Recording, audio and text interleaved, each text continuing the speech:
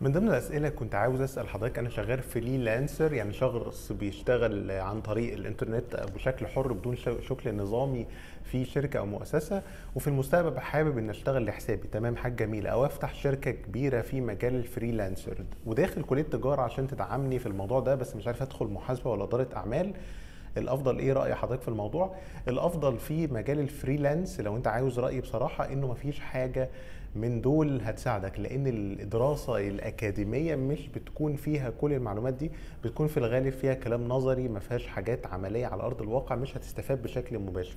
لو أنت حابب تهتم بده ممكن تجيب كتب أونلاين في كتب عن ال entrepreneurship أو ريادة الأعمال how to be a great freelancer كل الحاجات دي كتب بقى أجنبية هتساعدك إنك تكون التفكير. لكن الدراسة مش هتفيدك كتير خلينا نكون صادق لأن المواضيع أغلبها نظرية ومش هتستفاد منها كتير. فخلي بالك هنا وأنت بتقدم على الأماكن دي سيان الموضوع مش هيكون بالنسبة لك في أي مشكلة ولكن خد الأقرب لك و اداره أعمال أنا حاسس إنها هتكون ممكن تديك إزاي تدير المورد البشري إزاي ممكن يكون فيها جزء رياده أعمال أو مادة أو اتنين ف وبرضك ممكن الناس تقول لك في المحاسبة ممكن تاخد حاجات فيها تقدر إنها تساعدك إنك تكون الرؤية التحليلية للبادجت وكده.